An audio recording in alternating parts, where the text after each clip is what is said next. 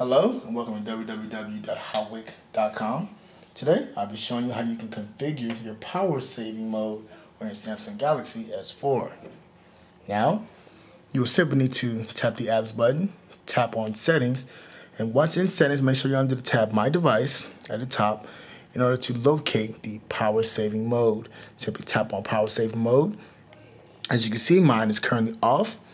By flicking the tab, you will actually be able to now cut your CPU power saving on, screen power saving, and turn off your haptic feedback.